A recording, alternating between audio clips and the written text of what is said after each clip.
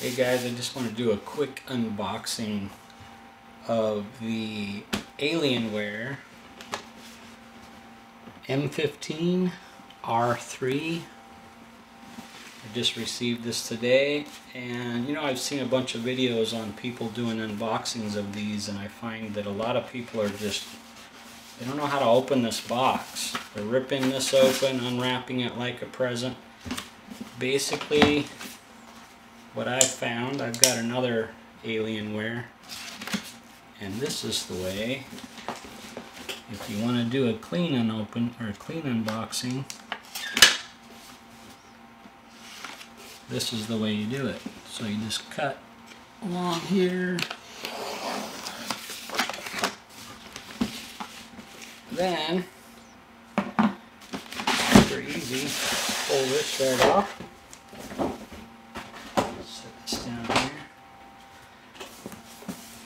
And there you have it.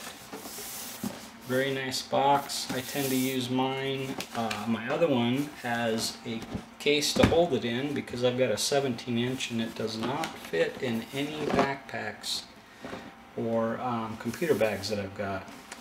But this one here, as you can see, this is the M15 and it's the R3 version. The next step in this, I see a lot of people, they can figure this part out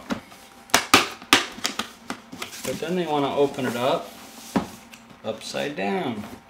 So if you're doing it this way, you're doing it wrong. The way that this is designed, push this in, and then you open it from this end. And there you go. This is the Lunar White. And I'm going to be doing a little bit more on this eventually but I just wanted to do a quick how-to unboxing of an Alienware laptop box. There you have it.